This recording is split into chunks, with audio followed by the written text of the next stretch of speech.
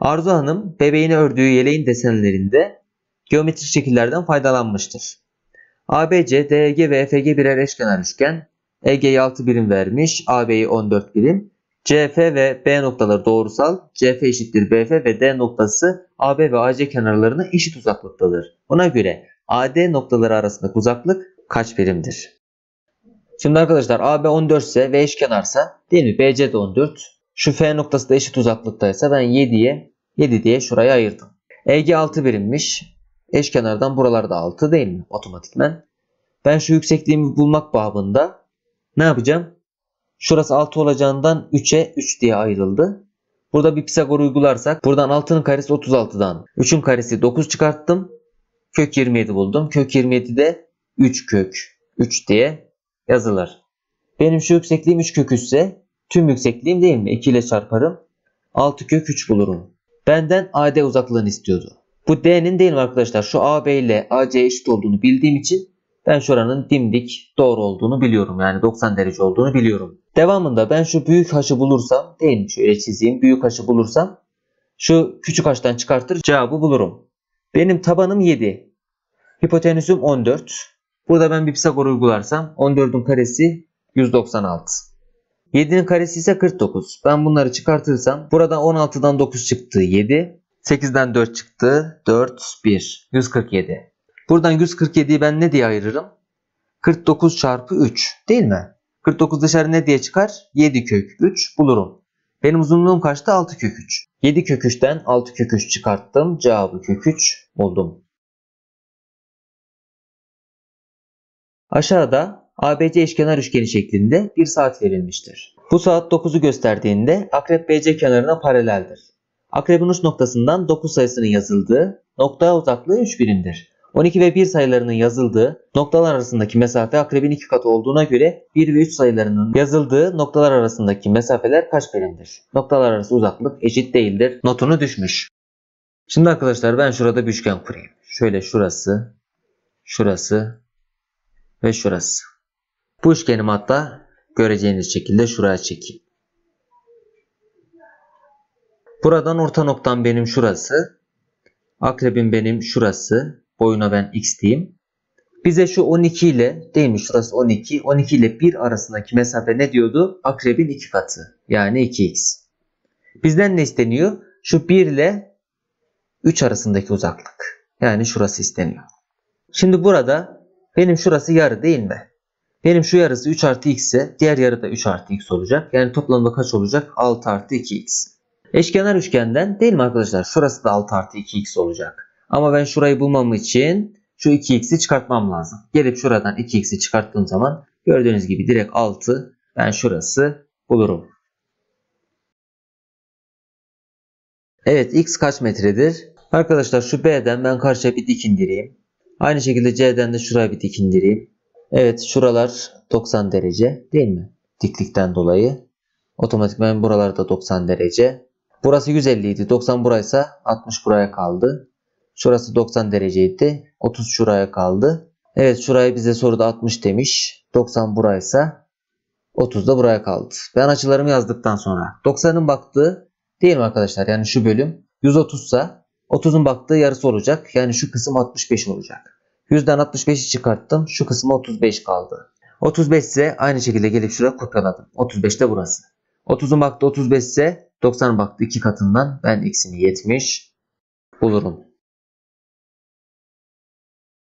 Bir reklam şirketi 5 tane eşkenar üçgen kullanarak aşağıdaki amblemi hazırlamıştır. Ambleme yerleştirilen eşkenar üçgenlerden en dıştaki hariç içtekilerin her birinin köşeleri dıştaki eşkenar üçgenin kenarlarının orta noktalarına gelmektedir.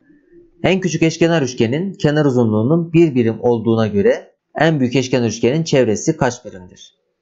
Şimdi arkadaşlar burada basit bir mantık var. Şimdi en küçük üçgenin çevresi 1 ise değil mi? Şöyle etrafları 1 ise. Ne olacak? Buralar 1 ise şuralar da 1 olacak. Bu sefer dikkat edin bir üstteki üçgen 2 oldu. 2 ise buralarda 2 olacak. Dikkat edin. Buralar 2 2 4 ise şuralarda 4 olacak. Mantık bu şekilde. Buradan 8 ise buralar 8. Aynı şekilde buralar 8. Aynı şekilde buralar 8. Buradan 16, 32, 48 birimdir derim. Yukarıda eşkenar üçgen biçiminde bir çift küpe görülmektedir. Bir çift dediğine göre bunlar iki tane aynı eşkenar üçgen. FGLM'ye paralel EG kenarının L noktasının en yakın noktası N noktasıdır. En yakın nokta dediğine göre bu her zaman dikliktir. Benim şurası N noktasıymış. Evet buradan LN kök 3 birim. LN'ye geldim kök 3 yazdım. Buradan NG 1 birim. NG bölümüne geldim şöyle 1 birim yazdım. EF'de 8 birim. EF'm de benim 8 birimmiş. Benden E ile K noktalar arasındaki uzaklık kaç birimdir diyor. Hemen geldim E ile K'yı birleştirdim. Benim burayı bulmam için değil mi? Şöyle bir üçgen oluşturmam lazım. Benim şu uzunluğum ne? Aslında şu yüksekliğim değil mi? Şöyle bir şey indirip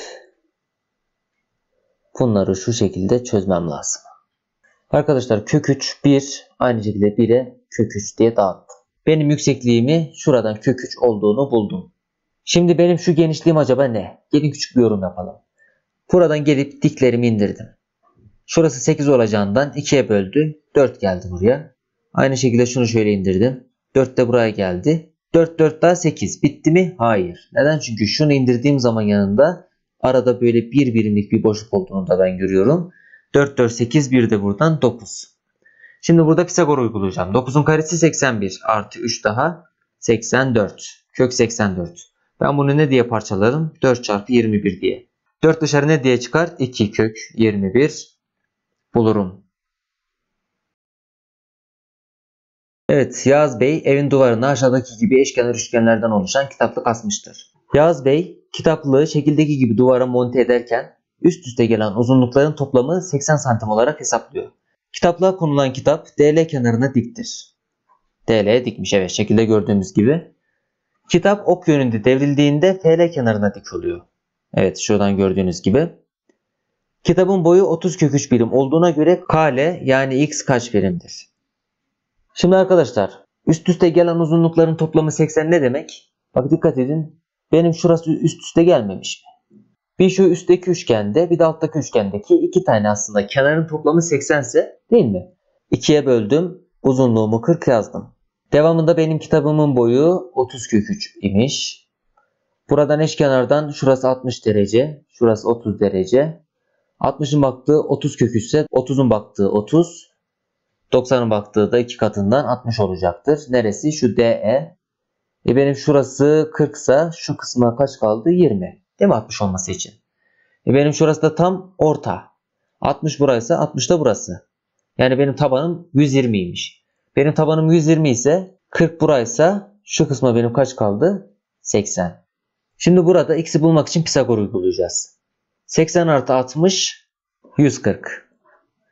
Benim şu yüksekliğim kaç? Şu açıma ben 30 diyeyim. 30'un baktığı 60 ise 60'ın baktığı kaç? 60 kök 3. Buradan 140'ın parantez karesi artı 60 kök 3'ün parantez karesi eşittir. x kare olacağından arkadaşlar bu işlemi yaptığınızda x eşittir 40 kök 19 bulunur.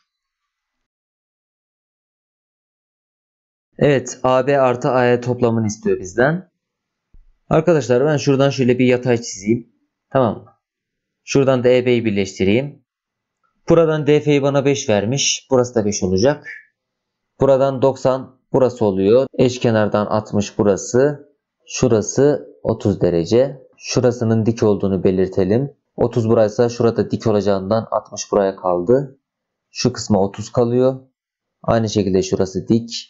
Burası 60 derece ve şurası 30 derece. Evet tüm açıları yazdığıma göre şimdi yorum yapacağım. 60'ın baktığı 5 ise 30'un baktığı nedir? 5 kök 3 bölü 3. Buradan 90'ın baktığı nedir? Tabii ki de bunun iki katı. Yani 10 kök 3 bölü 3. Ben şu uzunluğumu 10 kök 3 bölü 3 bulduysam. Şimdi burada Pisagor yaparsam değil mi? Ben burayla buranın toplamını bulurum. Şimdi 60'ın baktığı 10 kök 3 bölü 3 ise 30'un baktığı nedir? 10 bölü 3. Değil mi? 90'ın baktığı nedir? 2 katından 20 bölü 3. Ben bu ikisini toplarsam 30 bölü 3'ten cevabımı 10 bulurum. D, D üssü 2 kök 6 birim olduğuna göre levhaların ön yüzlerinin alanları toplamı kaç birim karedir? Şimdi ne diyor? 120 derece döndürülüyor. Yani şurası 120 derece döndürülüyor. Buraları zaten eşit miktarda 30'a 30 kalıyor. Benim 30 120 30 üçgenim neydi? 120'nin baktığı 2 kök 6 ise 30'un baktığı kök 3'e böldüğümüz zaman 2 kök 2 bulunur. Buradan benim 2 kök 2 ile 2 kök 2'yi çarparsam karenin alanını bulmak kolay. Buradan 4 çarpı 2'den 8 artı. Bir kere 8 artımız var. Bunlar gitti. Şimdi gelelim üçgenin alanına. Arkadaşlar ben şu üçgeni şu sağ tarafa alayım. Daha rahat görmemiz açısından. Buradan 2 kök 2. Şöyle ortadan tam 2'ye bölüp kenarları kök 2 kök 2 olacak şekilde ayırdım. Buradan Pisagor yaparsam şurası nedir arkadaşlar? 8 değil mi? Burası da 2 çıkarttım. Buraya kök 6 kaldı. Üçgenin alanı neydi? Taban çarpı yükseklik bölü 2. İkiler gitti. Kök 2 kök 6 ile çarparsam kök 12. Yani 2 kök 3 bulurum. Gelip bunu da bununla toplarsam 2 kök 3 artı 8'i işaretlerim.